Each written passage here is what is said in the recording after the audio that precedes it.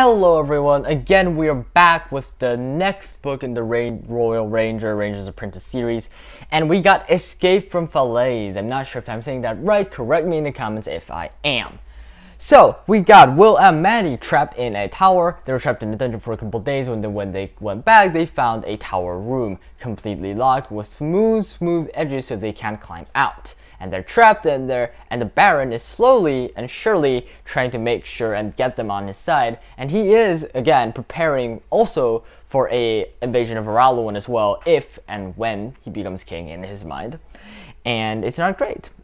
And Halt and Horace is meanwhile outside preparing for a assault to rescue Will and Maddie and they're kind of preparing everything. Meanwhile Will and Maddie inside is trying to kind of play the Baron's game, pretend they're slowly getting close to him, and then slowly reveal a little bit of information and then freaking with him. However, Maddie is a little bit of an impatient and headstrong girl, like her mother before Cassandra, and she goes in and she dares one of the arrogant, pimply, pricky knights of the Baron to a duel with blunted edges.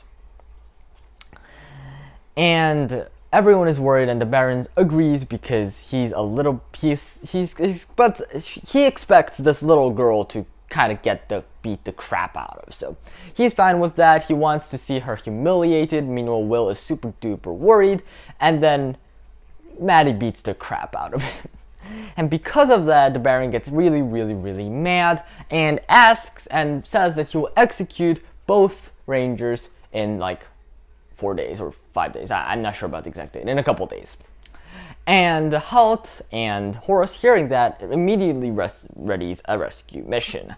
And there, Halt actually throws up this like cord thing up like on, a, on an arrow on, onto the tower and we find out this is a telephone reference so you know one of those uh, one of those things where I think everyone has done that at one point right you you get a paper cup you put in uh, a string and you pull, pull, pull a little hole in the end of the paper cup and you put a string in it and you tape it or tie it there somehow and you put another paper cup at the other end of the string and you do the exact same thing. And if you keep the paper if you keep the string between the paper cups tight you can speak into it and listen with the paper cup. And that is the exact same thing that that they do. They use this medieval telephony thing to communicate to with each other, and they make up a plan to escape. And they do manage to escape.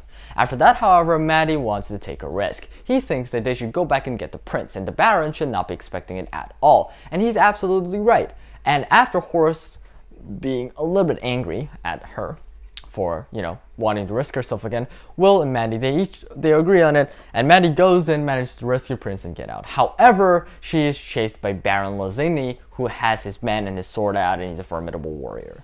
However, he stopped before they, he can come in and hit Maddie or kill Maddie or whatever.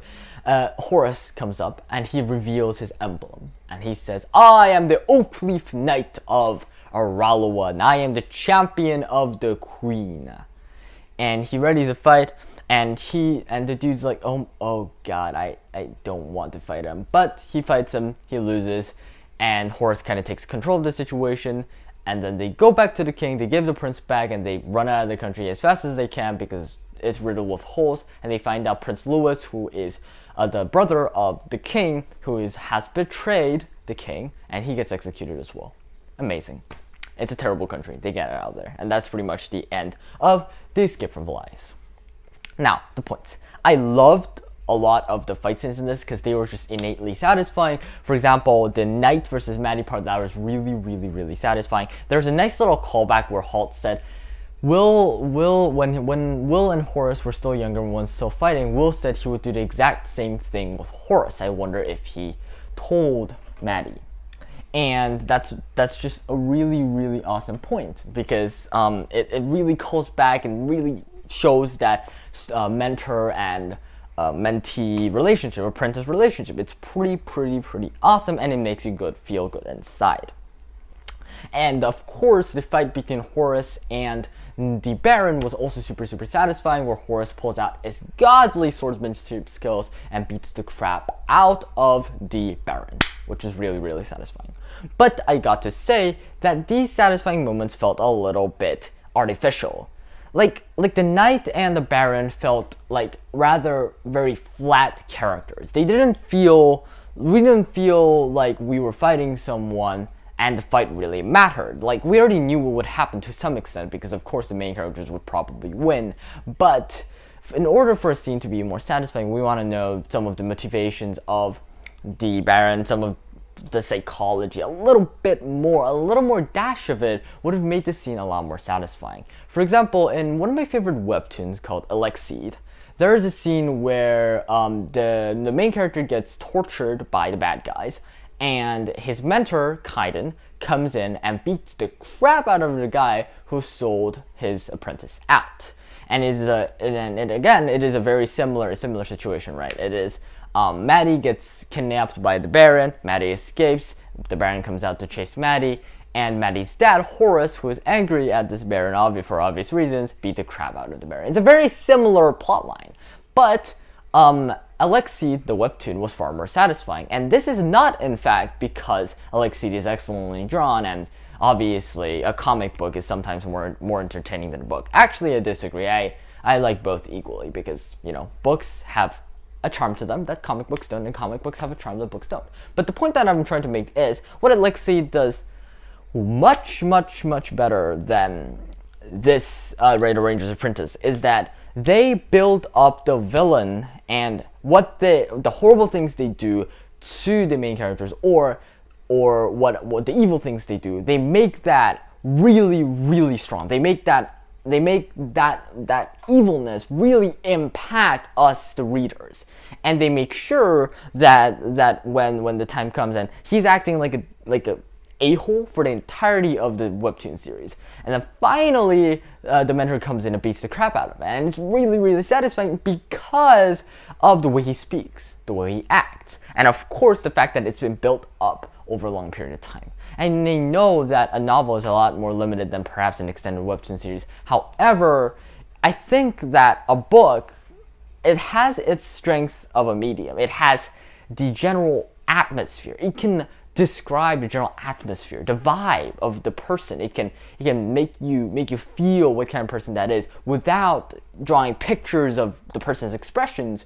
We can we can say, oh, he the, the person felt like a, a predator staring into, into my soul, ready to devour me at any second. Like, we can, that was a really bad example, but you get my point. We can describe the feeling, the vibe of the person. We can build up the evilness or why, the reason why the main character needs to take this guy down. It felt artificial because it never really felt like the main character's lives were on the line at all it just felt like it just felt like we were going in and beating up a bunch of noobs, honestly. And it, it didn't I didn't feel that tension because it didn't really ever feel like they were in danger in any way. And and I think that um, that's the problem with the past two books. Like it's good, it's well paced, it's well written in many ways. It's rather direct with help with the action scenes, and it's quite satisfying in a lot of the scenes. However, we don't have that life life threatening details. We don't have that feeling that the main character is really throwing themselves in there and fighting for their lives and and or or the evilness of the villain and what they're doing is truly truly disgusting and bad and then the main character comes in and beats the crap out and that's where the satisfaction should come from but instead here it just feels like we got this flat 2d character whose only motivation is ambition which we don't even get to see most of just get to be get the crap beat out of um, Horace. And if Horace wasn't an established character who we haven't seen with the sword in a while, then this entire this entire scene wouldn't have had even half the impact. And it could have been done a lot, a lot better. For example, in The Emperor of Nihon-Ja, there is we have that we get that innate satisfaction that the life threatening that those impossible odds they're all there. The feeling of the hero fighting against the entirety of the world with his wits skills and smarts. That is what the rangers apprentice is known for fighting impossible odds with smarts wits and strategies. But this this just felt like this didn't really feel like that. It just felt like we go in there and we're just stronger just force wise than these idiots over here. So we just shoot them and we sword them beat the crap out of them. And it's done. And it didn't feel half as satisfying as it used to when we thwart the enemy with an excellent plan or or in, for example, again, I, I'm talking about the Emperor of Nihon-Ja uh, multiple times, but like in the Emperor of Nihon-Ja where they, they fight the, the Katana people army and we have we have the common people with with the Roman style fighting, with the with the shields and the large javelins, and we use plan-ish fighting to fight off our impossible odds. We use strategies, we use our brains. That's what the Ranger's Apprentice is so satisfying and so amazing. But I felt like some of that feeling was missing from the past two books that I have read, and that is my only comment.